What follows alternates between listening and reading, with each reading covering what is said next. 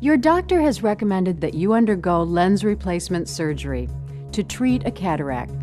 But what does that actually mean? The human eye is constructed like a camera with a clear lens in the front. The lens is located just behind the iris. It is contained in an elastic capsule. This capsule will serve as the housing for the new lens.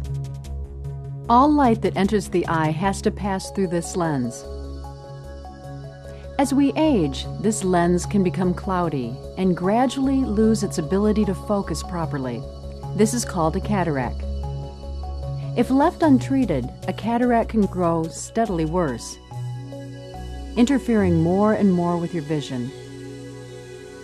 Generally, replacing a cataract with an artificial lens is a simple procedure. It usually involves a single incision in the white of the eye. Through this single opening, the cataract is removed and the artificial lens is inserted. By now, the pupil will be fully open or dilated. When the operative field is numb, the surgeon will use the microscope to help make a very small incision, just 3 millimeters above the iris. The lens is located just behind the iris, contained in the elastic capsule.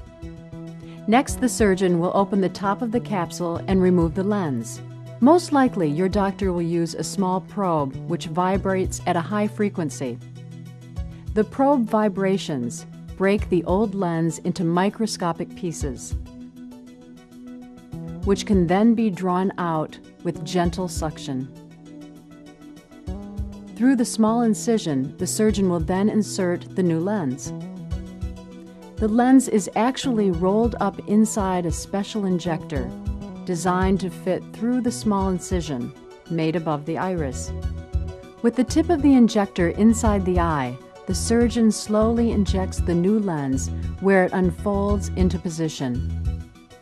Because of the small size of the incision, often your surgeon will complete surgery without putting in any stitches. Vision will gradually improve during normal healing of a period of five to eight weeks.